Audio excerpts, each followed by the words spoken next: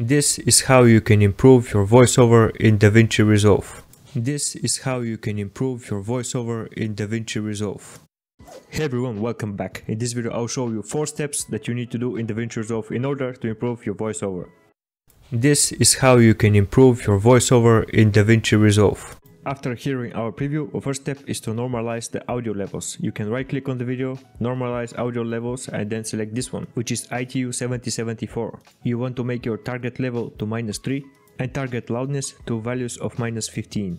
After inputting your values, you can click on normalize. Step number 2 is to fix the vocal channel. You can go to the plus sign on your mixer channel and then select vocal channel. Next, you want to enable high pass. Then you can set the values of frequencies around 130. remember that that is all depending on your voice and it should be around that. Then you want to enable this icon. Then you want to grab this band and you want to leave it around here. This is going to boost your frequencies and make your voice sound a little bit deeper. Try not to push it too much because it's going to sound muddy. Then select this icon and then pull this dot around here. This is what's working working best for me so you can play back so you can hear yourself. But it should be a value of around 6500 next step is to turn on the compressor and you can set up your threshold to around minus 20 on the right side of it you can see the ratio. You can put it out to around 4 or 5 and the following settings you can keep. This is how you can improve your voiceover in DaVinci Resolve.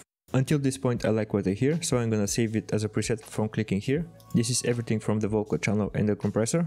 Next time I wanna use the same settings, I can just go here and I can select it Next step is go to effects again. This time we're gonna go to limiter, which you can find here in the dynamic. You will see this window and you want to preview your audio. This is how you can improve your voiceover in DaVinci Resolve. And the key in here is to match your waveforms until the blue line. So I'm gonna play it again and I'm gonna increase it by a tiny this bit. This is how you can improve your voiceover in DaVinci Resolve.